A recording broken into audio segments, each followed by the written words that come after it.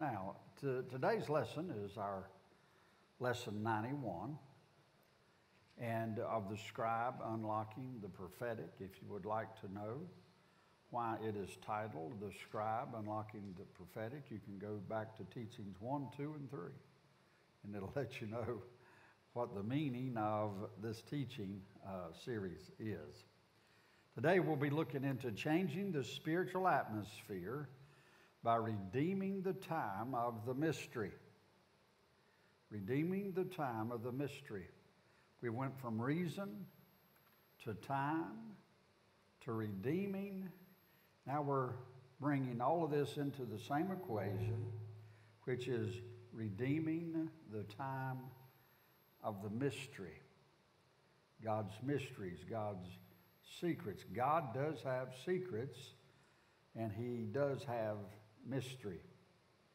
The very fact that you're sitting here under the obedience of the gospel of Jesus Christ is because God, through His Spirit, has revealed unto you the mystery of the gospel.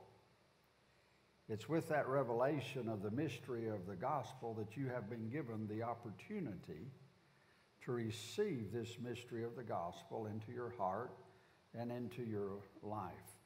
But you must understand this is invitational only. By invitation only is the revelation of the mystery. Now, do I believe that God visits all men? I do. Do I think that He can visit mankind more than once? I do. Do I think that mankind can reject this gospel? I do. But when God gives us revelation as a prophetic people, I'm hoping that you can bring together now. When God gives revelation, He gives it in His time. Remember, we went over that a few weeks ago about God's timing, how God has a time. So God brings revelation to all of us in His time. Of course, all of this Bible is before you. But unless it's revealed unto you by His Spirit, you can't get it.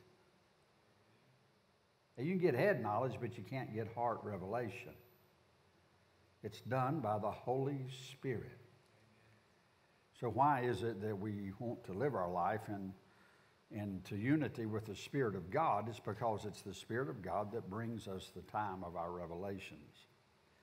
Here this morning, we're going to get into the redeeming the time of the mystery. Redeeming the time of the mystery. Now, in the scriptures, there are many mysteries. There are quite a few mysteries. But then there is a mystery of all time. We'll look at that today and why that's important. God is recovering man's reason. I've been over with you this before, but I keep adding each week to the phrase God is recovering man's reason and therefore the ability to redeem time of the mysteries of God. Ability to redeem time of the mysteries of God. God's mysteries are revealed in God's timing. God's timing. That's the reason we do not want to get too discouraged if someone doesn't have the same revelation you have. And you also need to be careful and not pass judgment on someone that do, does not have the same revelation as you do. When uh, I'll make a confession, if y'all will keep it a secret, there was a, there's a teaching that came out about the courts of heaven and I immediately had my opinion on it, knowing that I shouldn't have, but I did. And I, I, I even voiced it from here maybe once or twice, just very slightly. And, uh, but each time the Holy Spirit clocked me on it, gave me a correction on it. And now, can I stand before you and say that I have the revelation of the courts of heaven? The truth is, I do not. But I can also give you a testimony that I got clocked if I, if I raised a flag against it. So it's obvious that somebody's got a revelation there that I don't have. Now, are y'all going to keep that a secret? Thank you very much. The reason I'm using myself as an example there in a confession is to show that God brings revelations to his mysteries in his time. And it's important for us to uh, appreciate and receive, even though other people, we, we got to be careful that we understand some people have revelations of mysteries of God that perhaps you do not have. You say, well, Alan, how, how can you, how can you uh, agree with a revelation, whether it's true or not, if you don't have it? It's because I do it by the person who's given the revelation. If I know the person that's given the revelation has a heart of the Spirit, that's following the Spirit, I, I, I do what I You can trust God in people, right? We can trust each other. But we also need to be honest. And I'm just trying to introduce us to this idea that just because you don't have a revelation that someone else doesn't, you don't have to have an opinion. Now, when I had an opinion, it came out of my mouth. I knew better. I, I was kind of shocked at myself for giving one, but I, I did anyway. Maybe the Lord does want me to use myself as an example. I don't know. But the, but the truth is, perhaps I'll get the revelation or that. If I don't, well, I don't. It's just like I've told you, I've never spoken in tongues. And um, the moment I say that, then I have everywhere. I get emails and everybody wanting to pat me or, or poke me or something, so I'll speak in tongues. But the truth is, I, I just don't have that one. Now, if I ever if I ever get it, you'll be the first to know. I, I, promise you. I did have a dream one time that I was preaching, and then in the preaching, all of a sudden, I just started preaching in tongues. I didn't know I was doing it, but everybody else did. And I kept wondering in the dream, what is wrong with everybody? I didn't know what was going on. Now, that could have been the Spirit, or it just could have been my own imagination. But either way, I'm up for whatever God wants, amen, in His own mysteries and in His own timing. The important part about revelation of the mysteries of God is to understand that the Holy Spirit gives revelation based on individual people. God doesn't do just a scattering of His revelation, even though He can do that. But for the most part, with the salvation, with the good news or the gospel, it's given, you can, it's, it's when the spiritual atmosphere is so charged with the revelation of the gospel that that mystery of the gospel can be done on a large scale. So why do we, why are we concerned with atmosphere? It's because atmosphere brings into a spiritual timing the release of the revelations of God. Atmospheres bring into a spiritual timing. In other words, you can be guilty by association. Let's say that, let's say that, um, ever what a revelation is. Let's say of the courts of heaven. Let's say that somebody has that revelation. I do not have that revelation. But if I don't oppose it, I'm for the Spirit of God wanting to do ever what the Spirit of God wants to do. Or let's even say the, the revelation of the gospel of the cross for salvation. Let's say, and if we are embracing uh, truth because we trust each other, and if we trust each other and we embrace it, you can help, we create an atmosphere of a spiritual revelation being downloaded. My personal criticism, because of the lack of my personal experience, can stop a wider range of an atmosphere of given opportunity of revelation. Did you know that? How many apples does it take to spoil a whole bushel? It just doesn't take but one. How much, rap, how much strychnine has to be in a bushel of corn to kill you? Just a very little bit. So, in spiritual things, we need to understand that we come into unity. To be able to trust each other in the Spirit is a, is a wonderful place to be. Uh, the soul automatically wants to oppose because it's got its own opinion but it's a very uh, restful place to be able to trust the brethren. And you say, well, Alan, what if they're wrong? I'll say it again. It's a wonderful place to be, to be able to trust the brethren. Which is more important, trust or being right? If we have honest trust for each other and when somebody's wrong, God can cover that. He'll give us revelation. Because our, our fellowship and our relationship in fellowship is what creates the flow of the Spirit. I'd rather be in unity with you on something that's wrong than to have some bad attitude because I know that the revelation will come if we're wrong. I'm hot. I don't know why I've been getting hot up here, but I think I did. I don't know if I'm going to start pulling my coat off for me. I'm all wired up here. Thank you very much. Oh, my goodness, I'm all, where am I at here? I need revelation. There we go. I guess drinking coffee and all that didn't help. So, my point is that there is a tremendous spiritual flow that goes with unity. That's just like the dark side. When it's in unity, it has tremendous power. It has everything to do with, with uh, the flow of the Spirit. Now, so we want to we have the ability to redeem time of the mysteries of God. To follow Christ is to follow the reason in the time that God created you. Now, watch this. You must own where you are in life to have the authority of all time in your time in the light of the mysteries of God. I'm carrying the time thing a step further in light of the mysteries of God. And as a prophetic people here, we're going for more revelation. There again, what revelation you have now, if you do not keep a teachable spirit, you will remain where you are. Now you can say there's nothing wrong with that. That's okay. You can remain where you are and be happy and all uh, and everything else. I just advise you not to try to keep everybody else where you are. because the rest of us want to move on. And so if you're wanting to fight for where you are, that's okay, but I want to move on. It takes time, and we're adding another word today.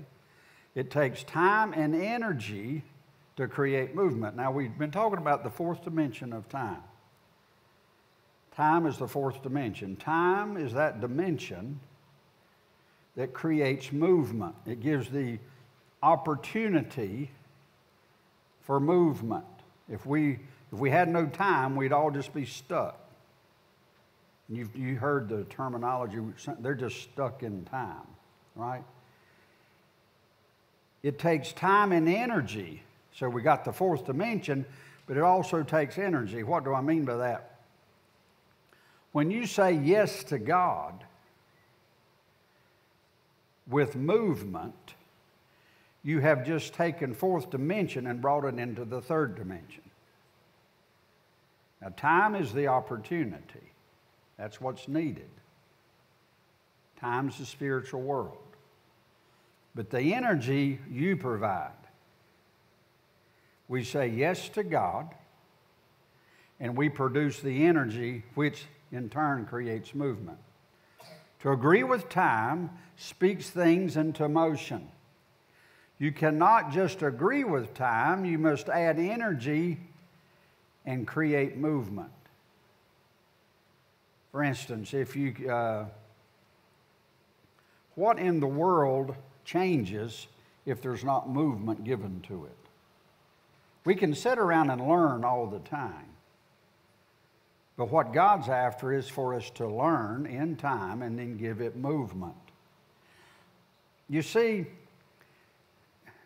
God, God meets you in the movement. You heard me say before, the Lord says, All right, go speak to that person. You'd say, Oh, I don't have any idea what to say. And I've told you, God will give you what to say on your way to the person. If you hadn't got it by then, He'll give it to you when you open your mouth.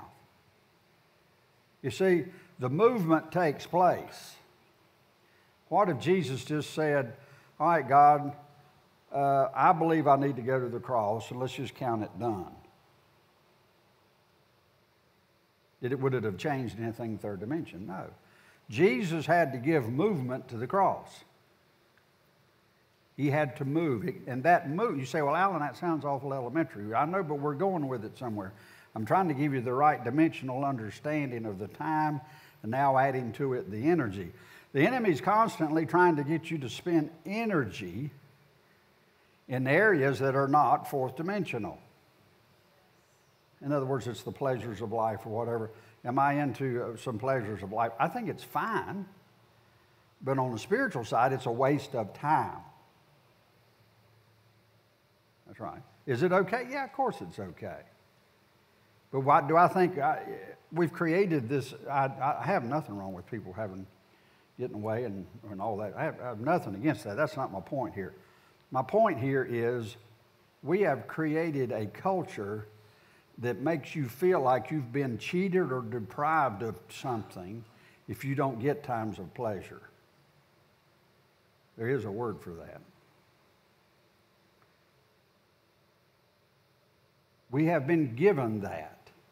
When you feel like you've been cheated of time, then something is coming against your spirituality. Your faith makes fourth dimensions real. Now, y'all have seen this before. Uh, we did this video. Now, the fourth dimension is time, and I've shown you how Christ in you, the hope of glory, how Christ is in you, then it comes out of you. You can't tell where the inside and the outside, one leaves and the other one comes. But there's something that causes that fourth dimensional time element to move, and that's called energy. It takes energy applied in time. It takes energy applied in time. That's the reason you can sit behind your desk all the time and read and study Scripture, and that's fine. But what God's after is for you to put energy to the time of study. He's wanting that thing to start revolving. Fourth dimension, Christ in you, the hope. He's wanting you to put energy to it. And so it's what we call uh, perhaps ministry or ministering to some. I just call it helping people. When you spend fourth dimensional time and energy on others. Are you with me? I'm not saying we don't work and make a living in it. I hope y'all know what I'm talking about. This is, a, is an advanced class. This isn't 101. When you take your time, add energy to it for others, you have a wonderful opportunity of Christ in you, the hope of glory, working out of you. The key, see, when you get offended or when you get uneasy or disgruntled, it is when your time is not serving you like you want it to. Now, let's move forward. Let me go to the next slide. There is a time that time is being made full by movement. So I showed you last week how there's a time that time, the fullness of times, and how that time becomes full. But time cannot become full without movement. Uh, the scriptures speak about there's to be a generation that's ever learning but never coming to the knowledge of the truth. That's because it's not energy is not given to the time, so it will move. Ephesians 1:10.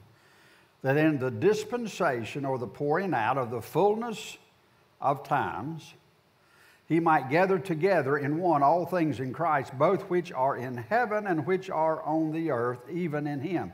So here we see that in the fullness of times, there is a gathering going on. Is gathering movement? Gathering is movement. Not only is it gathering movement, we see there that this movement's going to be between heaven and earth. God's going to be gathering some things out of heaven and gathering some things on the earth. So that's fourth and third dimensions are going to be working together. Do, do we believe that this church can work with heaven? The answer is yes. Do we think that it can be a revolving of heaven and earth? The answer is yes. Why? Because we believe that this is what the Bible is saying. So if we want to take our time that we are here and, and we want to give over our time to that time, that means that we are in the gathering business. Now, if I talk in farming terms, I can talk about a machine that gathers. A gathering machine in farming is called a harvester. So the gathering that it's speaking about here is gathering things that are in heaven and the earth. So we are in the harvesting business, is what we're in. We are in the gathering business. We are in the harvesting business. Now, you can say, well, Alan, I think we already know that. I am trying to bring more words, perhaps, to the understanding you already have. And if I can bring you greater understanding of what you already know, I'm hoping that it'll put more energy to what you already know. We are in the gathering business. This is our assignment. Now, as, as Christians and as believers, it is important if we want to be successful in the things of the gathering together that we must consciously know that that's our marching orders. Our marching orders are in the gathering together. And, and how are we to do that? We're to gather them in one. So is it, are we supposed to behave like heaven's there and earth's here? Or are we to behave like heaven and earth are one? We are in a oneness with heaven. I am not to be in oneness with this earth. Uh, consider this. We can have the desire to be accepted by everybody around us. We can have the desire to look like everybody around us. We can dumb down heaven all we want to. But if we're gathering heaven and earth together, that means we're not going to look like the earth. That's going to be a mixture because I am in my physical body. It's going to be a mixture. But if you think you've got to look and be and act and take on all of the attributes of Babylon to be relevant, you're, in, you're just not, you're not correct. It's incorrect. It's just totally incorrect. People of the earth are hoping there's more than Babylon. I, we want to be as irrelevant as we can be to earth. It is because the world is looking for something that is different. Now, if you are irrelevant, if, if you live a life that's different than the earth, it's a lonely place to be. That's right. Did you know if you live a life that has the elements of heaven mixed in with you, that others are constantly going to try to dumb you down? so that you blend in with them. We don't want to blend in with the earth. So, therefore, it'll make it a lonely place. If you are being criticized because you are representing heaven, what did you think was going to happen? So, what do we do? We'll dumb ourselves down, try to be like the world and all the world just enough of Jesus, well, I'm going incognito. I'm going in undercover. No such thing. So, what happens? When you are leading a charge of the kingdom of heaven upon this earth, criticism is going to hit you in the face every day of your life. Oh, yes! It has to, because you're different. You're different. You're messing with status quo. You don't look like it, but you'll draw criticism. I'm like, well, why do you want to criticize? Why do you even care? It's because the lost is trying to criticize you to see if you're pure, if you're true or not, to see if you're real. Somebody that knows what they're saying knows where they're headed, and others will follow.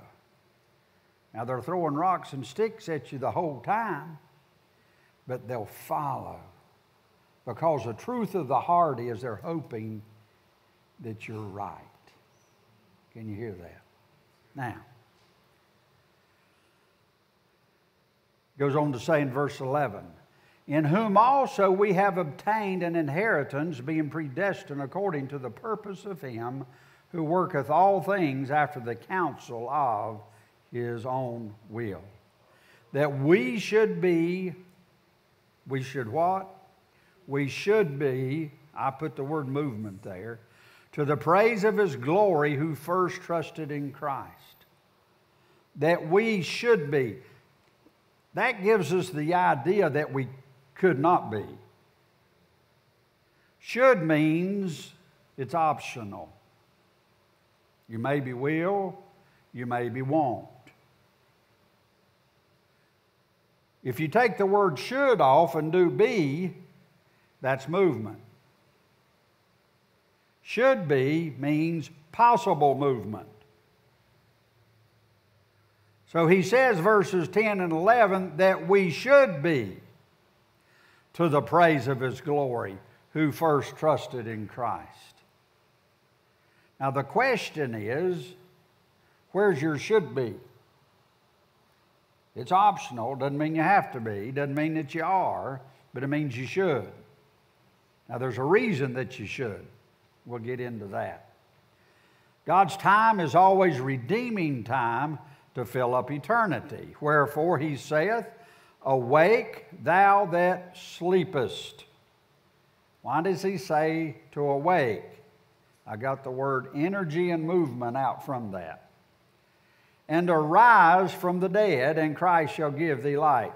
Can you see that? Awaken, thou that sleepeth. That means there's no energy, there's no movement. That means you're just sitting around. You're not any good to God, the devil, or anybody. There's no movement, there's no energy. That's the reason Paul said, Some of you are asleep, you're sleeping. If that's the case, you have no energy. If there's no energy and no movement, there's no fourth and third revolving. It's just not there. Don't think it is. It's in your brain.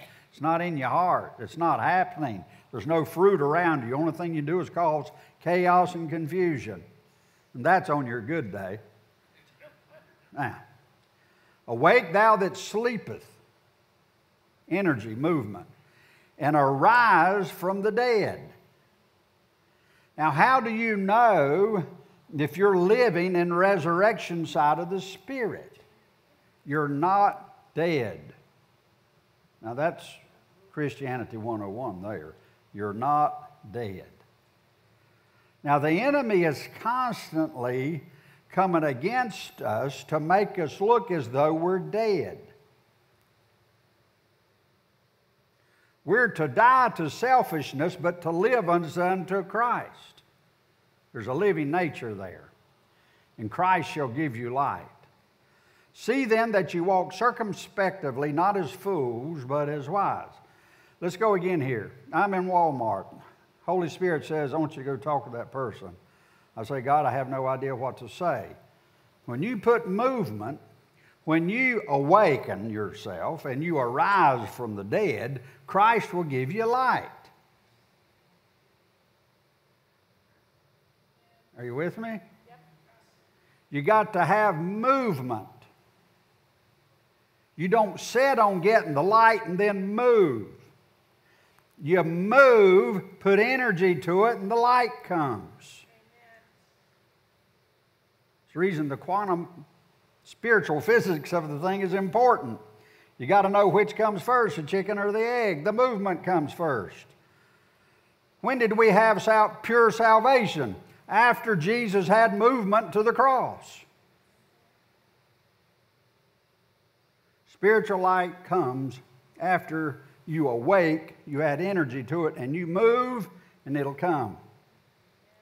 See, everything in life says well, you got to prepare before you move. If you're going to move in things of the Spirit, you move, and He prepares you on the way. Amen. Amen. That's right. Best evangelists we got, people have been born again about a week. Then we say, well, give them a little time, they'll settle down like the rest of us. That's right, isn't it? God forbid. Now, let's move on. Redeeming the time because the days are evil. Wherefore be ye not unwise, but understand what the will of the Lord is. So if I'm going to get the will of the Lord, means I need the light of the Lord. Correct? How do I get the light of the Lord? Is I wake up and I move.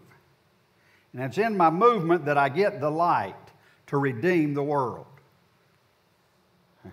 How many of you in here has went somewhere and say, Well, God told me to go. I have no idea where I'm going. Come on. That's the way it works. You have no idea where you're going. You, don't, you, you feel just a little stupid, don't you? Like, somebody asked me why I'm going. I don't know why I'm going. I'm just, I'm just going.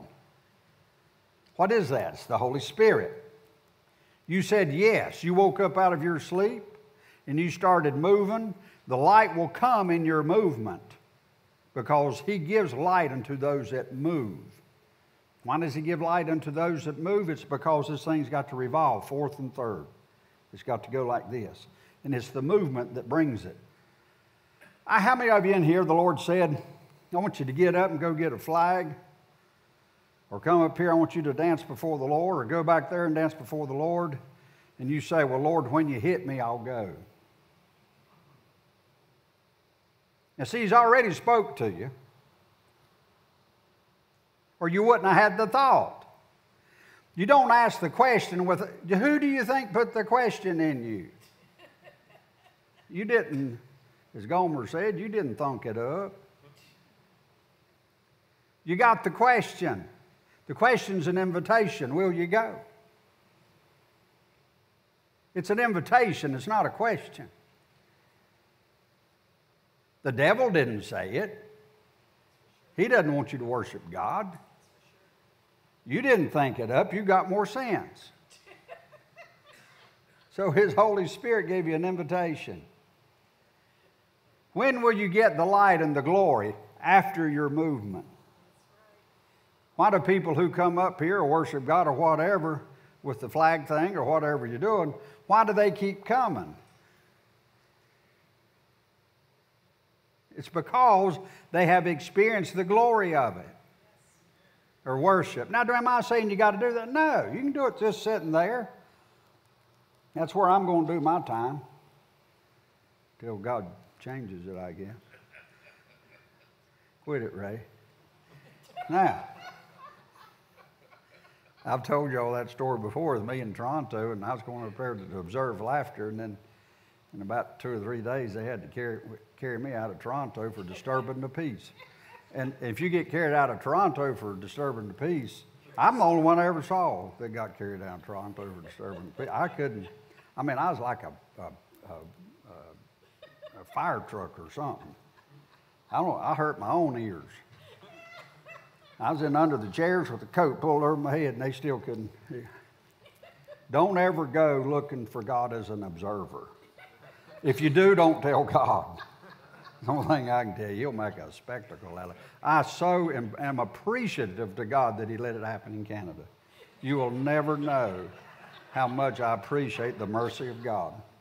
I know knew, I, I knew no one there except Mark Doolin, and he was worse than I was. Now, redeemed. What, what is being redeemed? Redeeming this time, walking wisdom towards them that are without redeeming the time. Now, the reason I did all that other is so you'd understand this verse. walk in wisdom toward them. Anybody getting it? You, you're going to walk toward them. You got to understand the revelation and the light goes, comes and you're going. And so you're going to go. I, I, this is a prophetic class. I want every one of you to, to be so prophetic in here, you, you'll follow the Spirit of God. But you got to understand first, you, you got to, you got to, I think I've said this before, the, the hardest thing to ever do, whether it's a diet or exercise, or the hardest thing to do is to start. If you just start, the reason it's so hard is because it's a spiritual phenomenon. You got to put movement. So, in that movement, I want you just to understand this verse Colossians 4 5. Walk in wisdom toward them that are without, redeeming the time. So, as you walk towards someone, what is God going to give you? Wisdom. He's going to give you wisdom. You don't get all flustered on what you're going to say. You walk to them, carry on the conversation, and since you were obedient to the invitation of the Holy Spirit, wisdom's going to come. I don't think he's in here, but he's not, and so I'll say it. There's one guy that comes up here with some flags, and he gets down like this. I'm like, my gosh, he's going to jump on somebody or something. Don't know who I'm talking about. I'm not calling no names. He'll get down here like one day, you got, and he'll get them flags. Listen, I, there's no doubt in my mind he has wisdom of revelation of what he's doing. Just, just watch it as a prophetic people, I would love for you to appreciate what you're seeing. We'll, we'll do this one day. You can prophetically look at the flags and how they're going and what colors are being used, and you can have an interpretation of the spirit of what you're seeing. That's right. That's right. Now, you can do a word by one or two individually. You put them all together and you got a sentence. That's right. Y'all want to do that one day? Would you come back or you think I'm crazy? It's the truth. You have to have a witness in your spirit, it's the truth. Sounds a little crazy up here, doesn't it? but here you have a witness. So, as people are worshiping God, as a prophetic people, take note to what you're looking at because it has an interpretation. That's what happens with me with tongues, I think, because I, I tell people I, I don't have I don't really have time for tongues because I'm getting interpretations. Somebody speaks in tongues, I can, most of the time I can see it. I can have an interpretation with, I can see the interpretation. And so I'm so, I'm just so taken on the interpretation. I maybe would flag up or tongue up or something if I quit interpreting, but it won't quit. It just keeps, here it comes, and it just keeps coming, and it just keeps coming.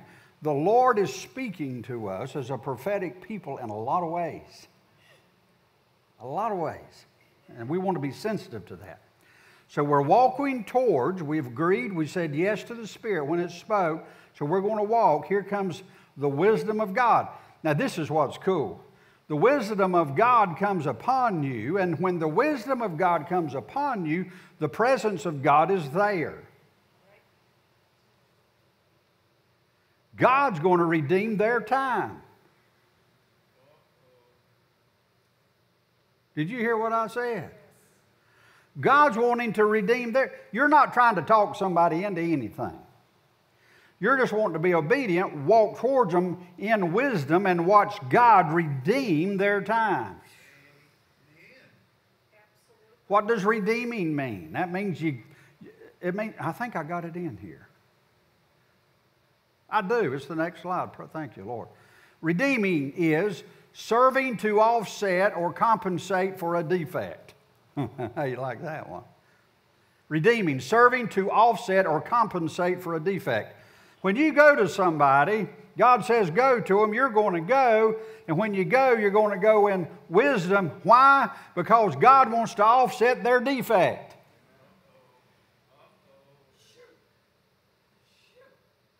Now, when you do that, you're in the gathering business. Can you feel it? I can feel that one. You're in the gathering business. You're pulling it together. That that's in heaven and that's, that's, that's on the earth. I just want you to understand and see why the movement is so important.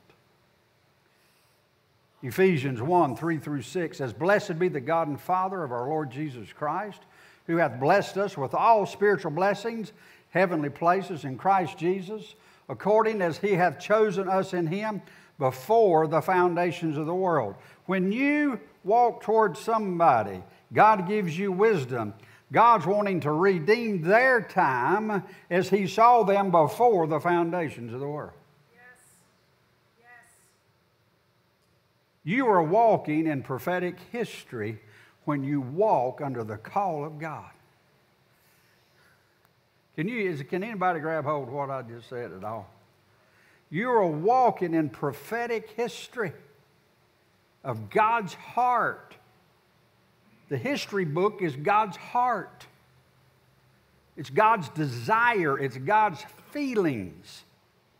When you say yes to walk towards someone, our little simple act, God says, okay, boom, I'm going to give you wisdom because I want to redeem their time. I want to take their defect. I want to do something with it so I can put them back how I saw them before the foundations of the world.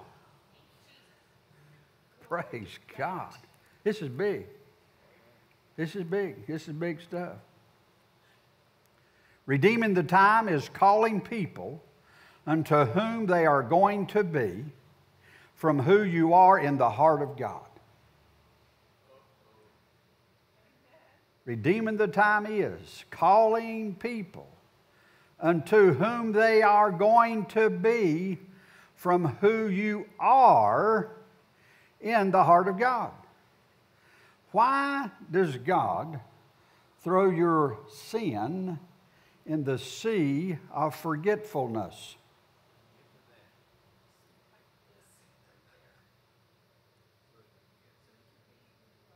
So you can be, God doesn't know what you're talking. See, God is rewinding this whole thing down before the foundations of the earth. He doesn't need your past in His future.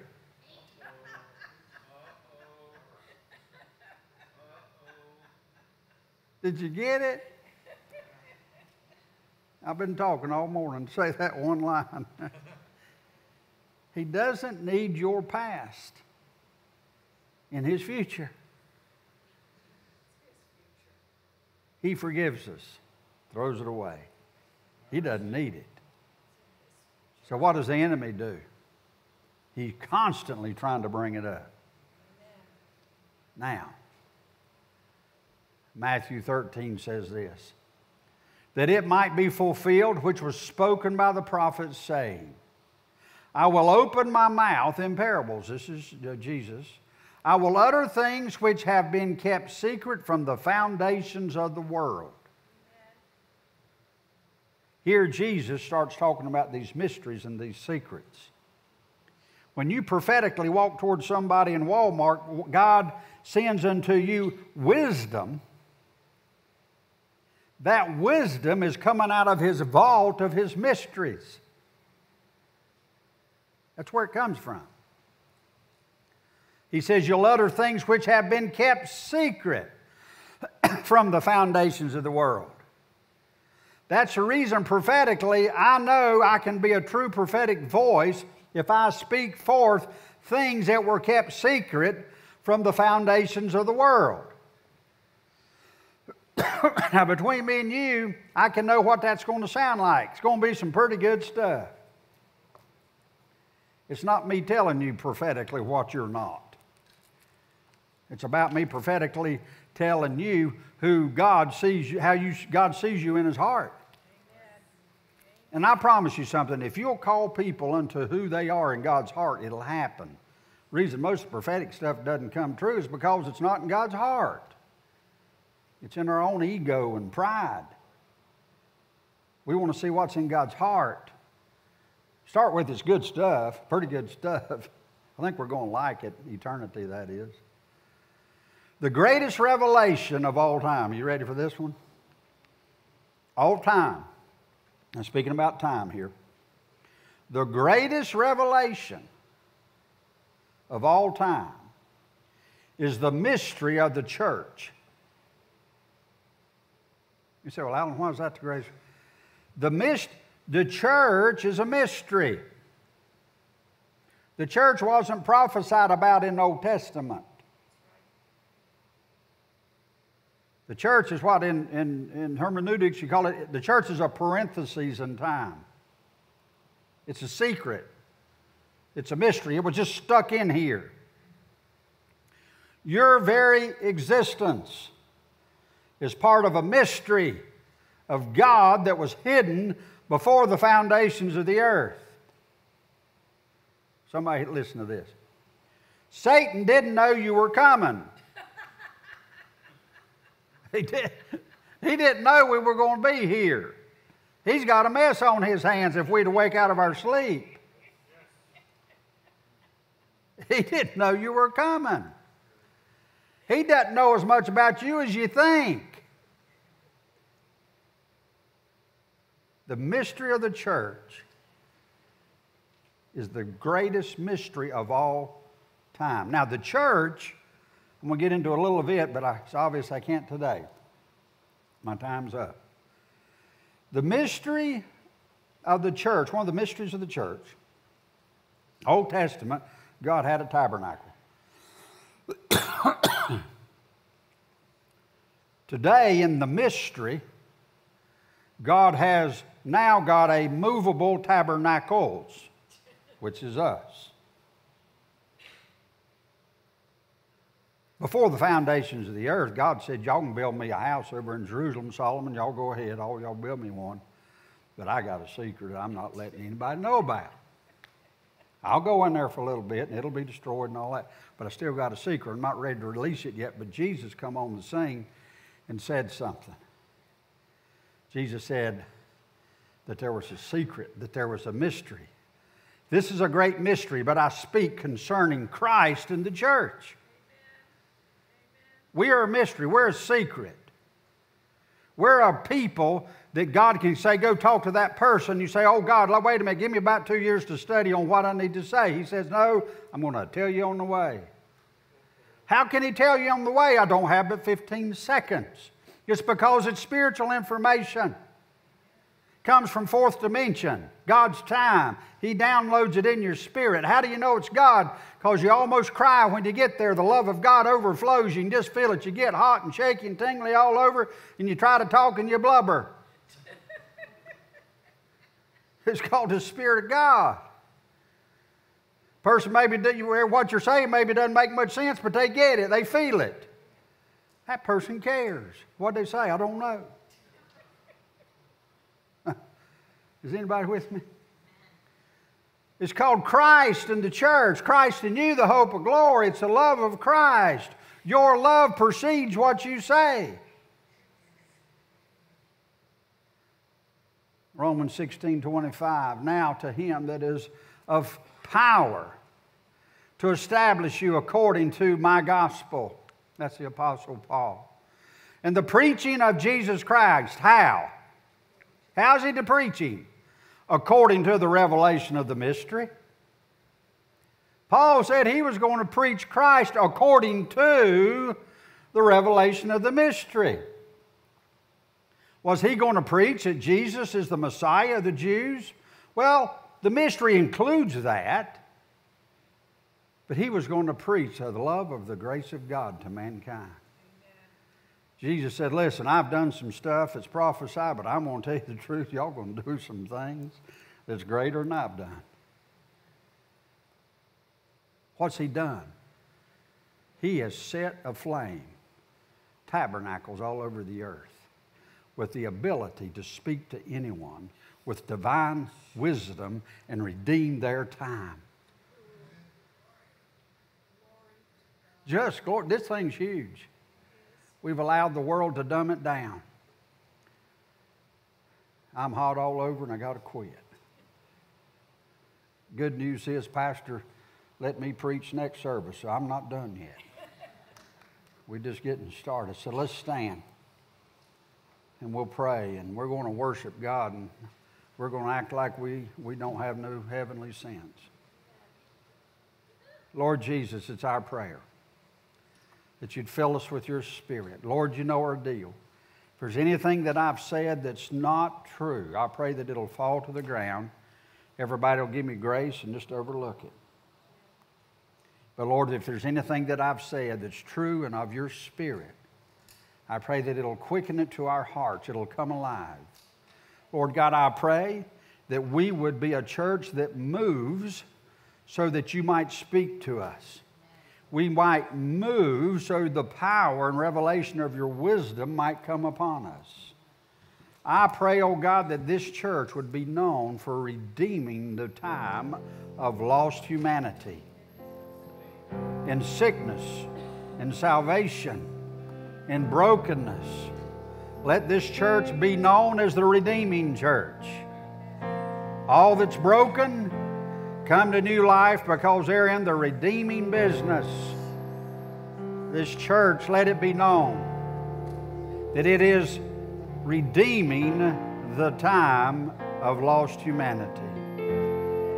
Be with us, O God. Give us courage, O God. Give us courage to be that that you saw us to be before the foundations of the earth. New life was seen in your heart, O oh God.